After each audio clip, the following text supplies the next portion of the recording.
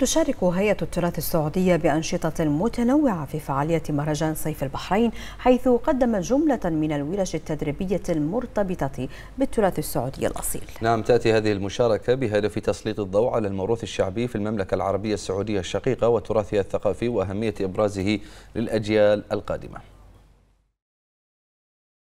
قصص وحكايات تراثية. ورش عمل تدريبية أفلام وصور مرئية شاركت بها المملكة العربية السعودية في مهرجان صيف البحرين وذلك لإبراز مواقع تراث المملكة الثقافي لما تتمتع به المملكة من إرث تاريخي غني. بالنسبة لنا هنا كورشة عمل بالنسبة للأطفال نعلمهم كيف بداية صناعة الهوري أو اللانش أو كذا. نعلمهم البداية.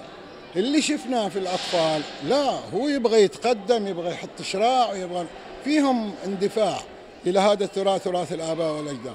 طبعا ينجزوا عمل وما شاء الله تركيز في العمل.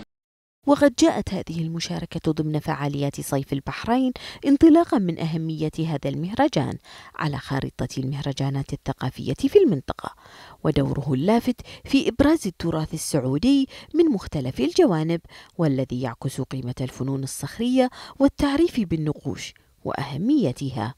نوصل التراث من خلال هالقصص اللي إحنا نسويها ونعرض صور لما وجدوه الآثار اللي هو العلماء السعوديين ما وجدوه من آثار. مملكة البحرين يعني ما شاء الله ولا إله إلا الله إحنا أهل ونسايب ويجمعنا يجمعنا كل شيء في بين بين الشعبين يعني.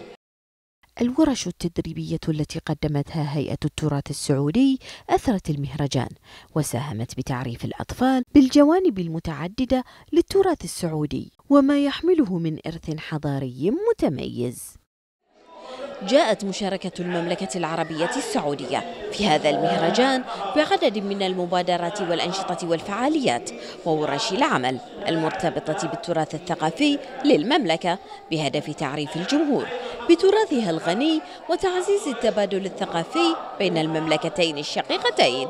خولة القرينيس لمركز الأخبار تلفزيون البحرين.